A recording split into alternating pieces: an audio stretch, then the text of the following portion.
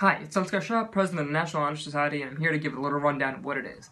So the National Honor Society, or the NHS, is not just a club you can sign up for, it's something you have to apply to be then accepted into. And this application runs uh, revolves around the four pillars of the NHS: scholarship, leadership, character, and service. Scholarship is your GPA. You have to maintain a 4.25 GPA from your freshman to mid junior year when you apply. Leadership is do you hold any leadership positions, whether this be president, vice president, uh, treasurer, secretary, or anything outside of school, uh, church, youth group, uh, etc., and so on. Uh, next, we have character. Character is basically your teachers will evaluate you on your behavior and how you respect your peers and teachers in classes.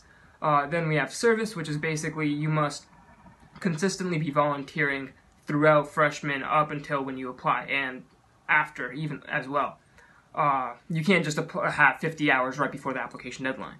Um, and so, freshmen, if you think this sounds fun and enter- entertaining, uh, start planning now because it's going to come fast.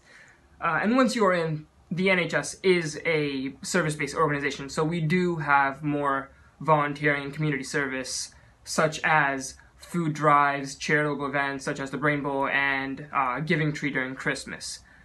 And that's about it.